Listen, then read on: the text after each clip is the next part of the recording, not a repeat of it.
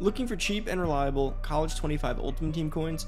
Head on over to MMO EXP and use code Poodle at checkout for 5% off your order. Hey, what's going on, everybody? It's Poodle back with another CFB 25 video. And today I'm be going over when to fight for a recruit or when it's time to just call it quits. So before we get into the video, as always, if you're new to the channel, hit that subscribe button, turn on that noti bell as always. And if you haven't already, give this video a big thumbs up. Every like goes a long way. You guys have been killing it. Can we get 250 likes on this video? And of course, comment down below if you have anything to add, as always. And if you haven't already, make sure to check out Underdog. If you use code Poodle down below, you'll see it in the comments and in the description. Use code Poodle, you can get up to $1,000 on your first deposit, get a free 0.5 pick, and of course, enjoy the entire month of content. Underdog has been killing it almost every day is a promo and it's plenty of specials and plenty of ways to win over there. So make sure you check it out. If you need any help hit me up on twitter or comment down below. So let's get into it. The way i see recruiting is there's a few phases that are super important. I'm not talking about top five top three. I'm talking about key interest phases that you want to be focusing on. What i mean by that is i've basically broken this down into a pretty simple formula to know when i'm going to win or i'm not going to win. And my success rates i would say about 80 to 90 percent at this point. And it goes a long way in helping me a preserve points B, preserve time and, and my mental health so I don't go fighting for a recruit and then losing them at the end, which people say all the time, right? I see people all the time. I was leading all season. I ended up losing at the end. I hate this game. You will know if you're going to end up losing at the end based on a few of these phases, so you've got to be on the lookout and just really focusing at each phase. So, the first phase is the offer scholarship phase. This is one of the first times you're going to get a good look at where you stand. Now, it's not really the most important phase in my opinion, but it does play a, a vital role in knowing whether or not to continue going and where you're going to stand from there on out. And I'll get into that. So first, you're going to offer your scholarships.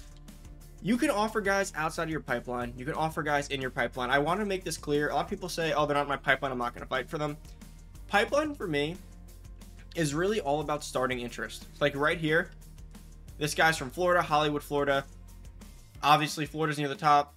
FSU second.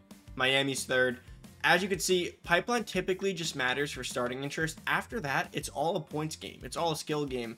It's all a matter of packages and your recruiting tactics. That's really it in my opinion. So do keep that in mind. Fight for whoever you want to fight for that you believe you can. And I'll go through these phases and I'll probably give you a better idea of when you can and can't fight for them. So once you do have this in mind, go forward after you offer your scholarships and advance the week.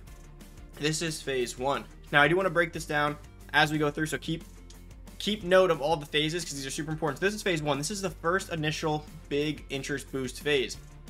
As you see here, Florida takes a clear lead here. They had the lead to begin with, so this isn't really shocking. Same thing here. We have not, we moved up to one on this guy.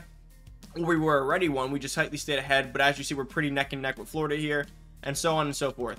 This is a great week to get a good gauge on where you are. If you see right here, this is a, a four, five star right here. We moved up slightly on this guy. We were a little behind, so that's good. That's good initially. But like I said, I'm never too concerned about this board. The only time I'd ever be concerned about this board is if a team gets a massive lead. Like for instance, let's say like see that Ole Miss jump kind of freaks me out a little bit. But more so, let's say I was competing against like Georgia and Bama, and Georgia got one of those huge leads. Like not like that, like just one of those huge ones where everyone's at half and they're at almost complete for the top eight bar. That's where I start to get concerned within this phase because then I'm like, okay, Georgia already has crazy starting interest, and I know they have great coaching packages, and I know they're a great program, and I know they're five star. That's where I get concerned. See, these are close enough to where none of these concern me. I don't care that I'm fifth. There's no situation here where I'm concerned. So for that, I continue going with this phase of recruits. That's the only way I I ever look at this phase is did someone get a massive lead that's a great program see if i if you if ucf got a massive lead here i wouldn't be concerned i know they don't have the coaching staff most likely to keep up. But as a team like Georgia or Alabama or Michigan, if they had a huge lead out of this gate, like massive, I'd probably back out on that recruit because gaining ground is going to be very hard. At least that much ground, right? Otherwise, we're good to go from here. So then the next phase comes, and that's the initial offer phase. This phase is huge. Why is that? This is where you want to take a look at your points, and this is where you decide if you're going to continue to fight. So at this point, look at what points you have. So obviously I have 50 on cornerbacks, right? I have 60 on outside linebackers. The way I look at this phase is I look at my recruiting packages. You can go over to coaching packages and look at what you have and look at your points above my face cam 50, 50, 60, 75, 50, 75. The way I look at this, if the competition's stiff or I'm kind of behind, I'm on players with only 50 points, I'm probably not going to go all in on them. Players with more than 50, I will fight. Players with 75, I'll fight anyone. Or 80 if I had that. So for instance, right here, we're a little behind but we have 60. So I'm, I will go. I will continue fighting for this player because it's Auburn, it's Florida, it's Miami. We're not that far behind, and we do have extra points, so let's hope that we get it. And another thing to keep in mind here is also when you do your recruiting packages, this is why I think Elite Recruiter is so important because you do get additional bonuses. So the points aren't exactly a one for one ratio. So let's say right here I have Elite Recruiter. As you see, I have it on these players. I all have this, which is gain additional interest for every 10 hours spent. So let's say Florida only has the 60 points, and I have 60 points, but I have Elite Recruiter 60 points, which means that I also get an additional six times bonus. Now, it's not a six times in the sense that you get six times more benefit, but for every 10, I get a slight bonus. So I get six extra bonuses. So my 60 may be more me be more impactful than theirs. So as long as I have these Elite Recruiter packages, I'm willing to fight at 60, potentially even 50. But 50 is really cutting it close because you want you want more hours. You always want the more you always want more hours, so always make sure you take care of that. And of course, as you do progress through seasons, you can be upgrading your elite recruiter package. But let's keep going down. So again, all these guys are 50. Right here, I take a look at this guy. I'm near the top. I only have 50. I'd probably still fight because I know I have the elite recruiter packages. And honestly, I'm near the top. Not concerned. Same thing. I'm going against really bad programs here. Not concerned that it's 50. Keep going down. So let's say for right here, 75. We have the lead. This is a clear. I think we'll get this one. We're shooing for this one. Not concerned in the slightest. So this guy, 75, is a guy I'd fight for for sure. And let's just give us a few more examples here. 75, huge lead. Again, and this shows with the starting interest with the pipeline and how that works. I think when you have the pipeline, it's much easier to get that initial interest boost. Right here, another guy. Anyone with 75, I'm fighting for. So I want to give a better example in terms of like this guy. Let's say I was right here all the way on five, or I was this guy behind on Clemson, or this one right here. If I had 75 points on this one, I would 100% do it. Honestly, if you were LSU, I'd still go in. If you were behind LSU, you weren't even on the screen, with 75, I'd still do it. But with 50 is where I'm to have to say, this one's going to be pretty tough. I don't know if I'm going to stay in this one, honestly. This is one where I'll throw maybe the initial week's 50, but I don't think I'd stay on this one. Clemson got a big boost. Ole Miss got a boost. Auburn got a boost. I'm behind and I only have 50. I don't think I'm going to catch these teams. Could you? Yes. But remember, for every 50 you just throw at people, it's opportunity cost. For the 50 you throw at this guy, just in case for a four-star player, you're losing out on another player that you maybe easily could get. And that's how you end up instead of a recruiting class of 15 to 20. That's how you end up with one of seven when you just start tossing your whole 50 is a whole hard sell. It's a whole full send the house, right? That's a whole prospect. When you do the 50, you're just wasting it. So again, that's a guy I'd probably be out on. This one you're going against great programs. You only have 50. The odds of beating out Alabama, Georgia, Florida, and FSU are pretty low here, especially with only 50. Could you? Yes. He's a five star. Maybe you stay in, but I just don't think you're going to end up beating all them out. You could try it. Another thing you can do, which is helpful, especially in year one, if it's online or it's offline, you can always go and check. You can make fake offline franchises and create that program using their custom coach, and then just go and check their packages.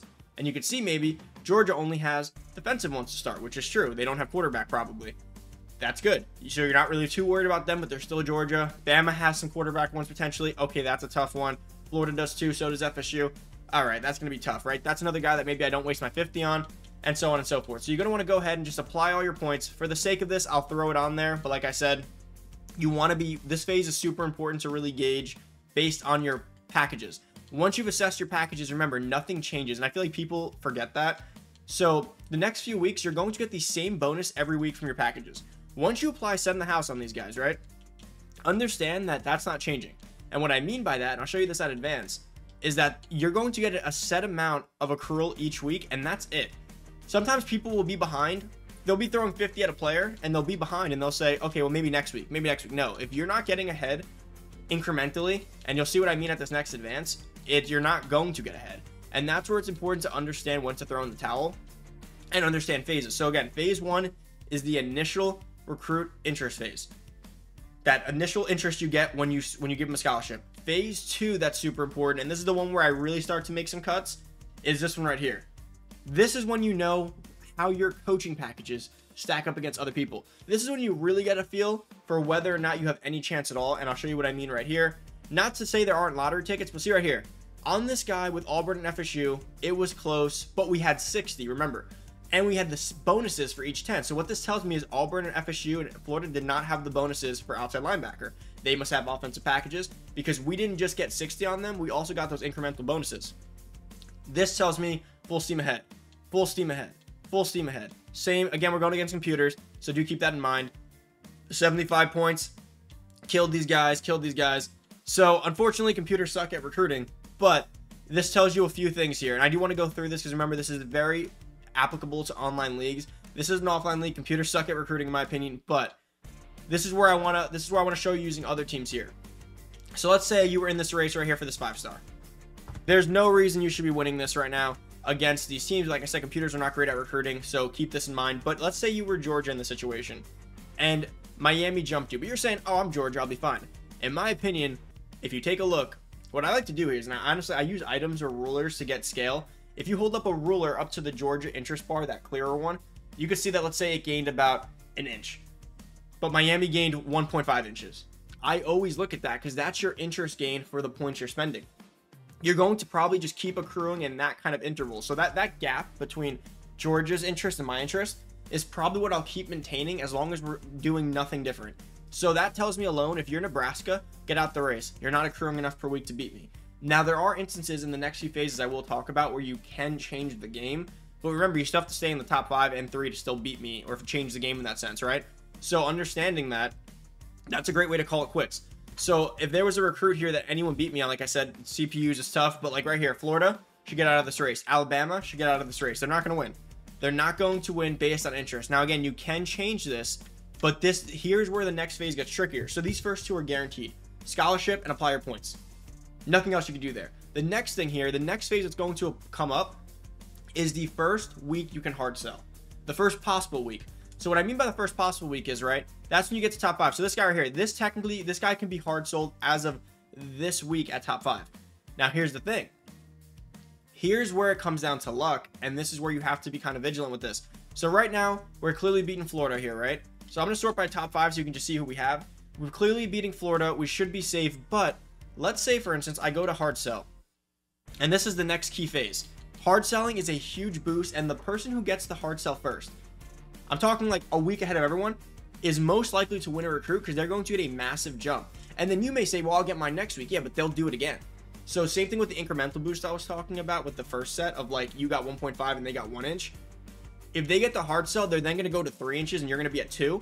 Even if you get yours next week, I'll keep accruing at that same level. So that big jump I got for that hard sell, I'll keep accruing something similar to that going forward. So you're you're cooked at that point. So let's say I go to hard sell. Using process elimination, we're going to go through their proximity to home is their deal breaker, and we have coach prestige. So we have two of the greens here. So keep in mind that we can technically hard sell this week. So we're going to go through and look, see if we can do it. Uh, right there, that's one possibility. And if we keep moving through, that's another possibility. So there's two possibilities. So here, here you cannot automatically hard sell. So do keep that in mind. So you have two options. You tell yourself, I have a safe lead on Florida. I'm fine. Why risk it? I'm just going to go with another week of 50 and I'll just wait. On the other hand, and I've seen this in my league, and Florida could have two things here they could have got super lucky and with their two weeks that we've advanced, gotten two of the three greens plus could have three greens already. Could have three greens. And that's it's not like everyone gets the same amount of things unlocked. You get random boxes unlocked. So that's where the next variability phase comes into recruiting phases is that Florida could have three greens right now and you could have only one plus the one deal breaker and they could hard sell this week. So you have to keep that in mind when you have a lead on a recruit. Like, is it worth it? I've actually had a lead like this with a five star and said, I'll be fine. I'm going to play it safe, let them guess.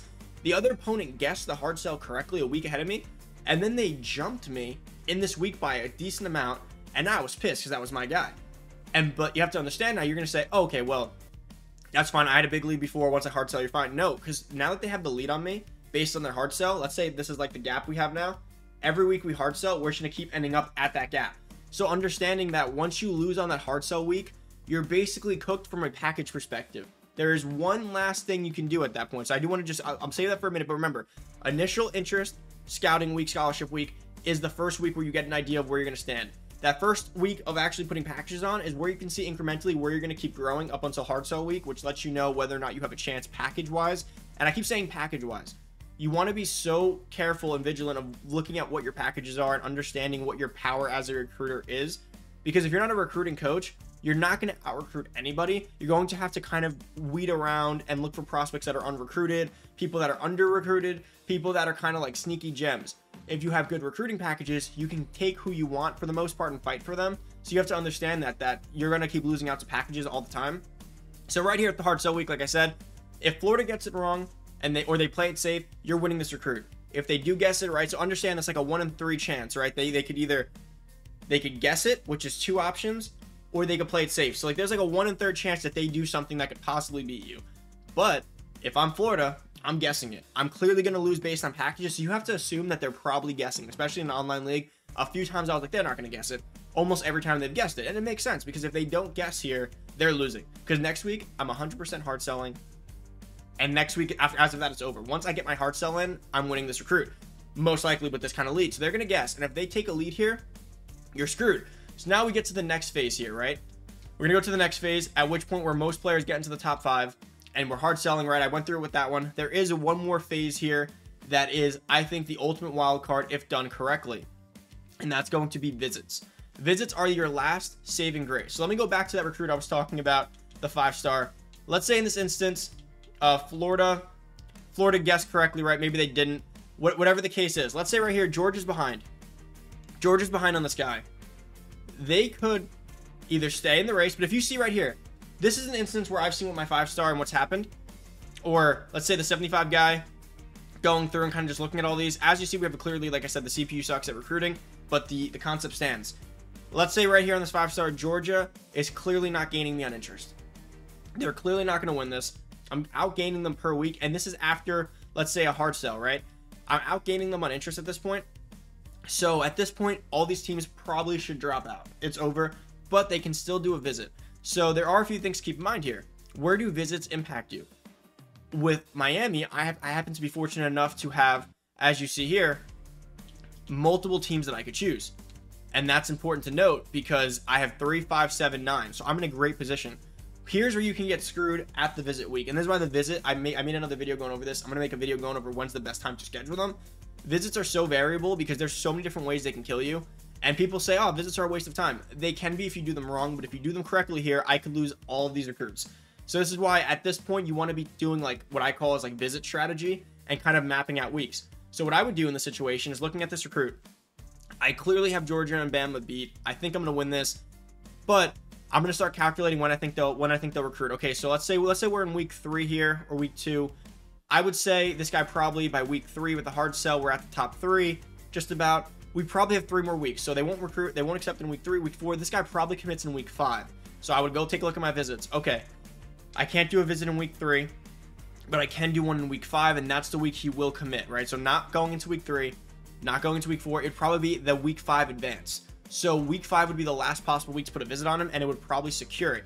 So with that being said, I'd probably go do this. Remember, you can only do it on home games. So I'd probably go over to team schedules, and I go check the schedule. And this is what I actually do.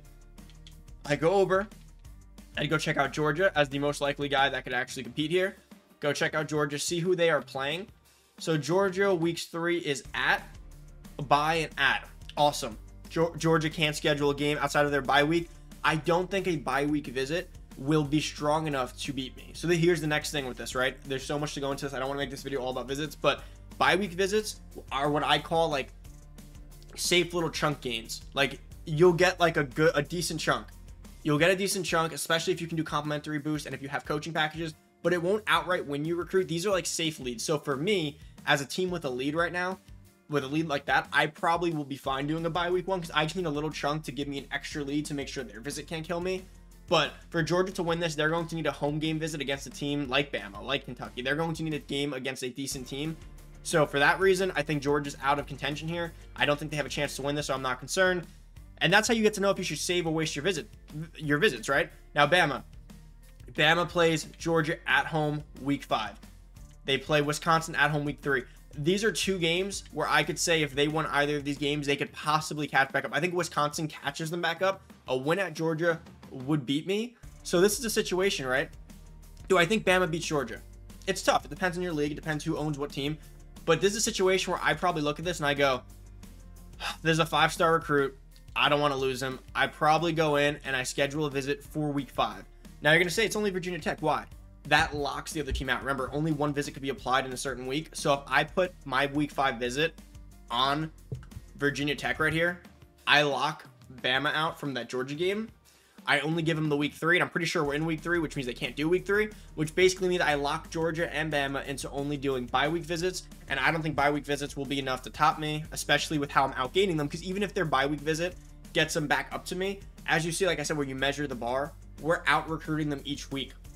So with that being said, even if their bye week visit ties me right at advance, I'll start incrementally gaining on them. So I'm not concerned about a bye week visit. What I can't have, absolutely can't have, is Georgia or Bama beating each other in a crazy four star influence type bonus for winning and then jump me by like a whole inch. And now I only have two weeks left, right? Because if this was week one, it's fine. I'll catch back up. We only have two to three weeks left before they commit. So I'd have to outgain them with my little, with my, let's say, quarter inch through three weeks to get back the inch. So that's where I can say if Georgia or Bama got in a visit like that in week three and they jump me by an inch, I'm probably cooked on this guy. So with that being said, in this situation, I'm probably scheduling it for week five. I'm locking them out. Now let's go look at another example real quick. This situation right here. A lead like this, I don't care if they have a visit. I, it doesn't matter. Unless they're beating like Georgia, even then I don't think it matters.